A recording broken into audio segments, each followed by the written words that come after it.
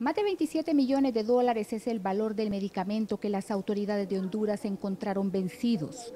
La ministra de Salud no confirmó los lugares, pero sí dijo que una de ellas estaba dentro de un hospital de la capital Tegucigalpa. Hace como dos semanas se, se auditaron o se intervinieron tres farmacias de diferentes hospitales.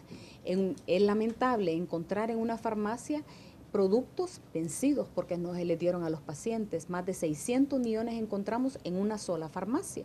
Lo increíble, dice la ministra, que es un medicamento que la población pide a diario en los diferentes hospitales del país. Este medicamento y, medicamento que nosotros sabemos que es un medicamento que la población pues acude rápidamente a ellos. La indignación de la población no se hizo esperar. No les interesa el, pueblo, no les importa la, la salud de los demás, solo para ellos quizás.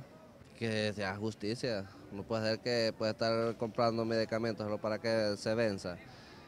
La gente muriéndose y ellos bien. Según la crisis que tenemos en el país y que los funcionarios no sean responsables, viendo toda la cantidad de personas que llegan a los hospitales y no darles el medicamento, mejor prefieren votarlo, sería, sería injusto que el, el gobierno no buscara un castigo. Ahí son los jefes de, que dan el mantenimiento de las medicinas, ellos son los culpables, no le vamos a echar culpa al gobierno, porque el gobierno no tiene nada que ver, sino que es el que está dentro de los hospitales, es que es el que controla todos los medicamentos y sabe quién tiene y quién no tiene. Las autoridades del Ministerio Público confirmaron que ya están investigando quién o quiénes son los responsables de haber dejado vencer el millonario lote de medicamentos que tanto necesita la población hondureña.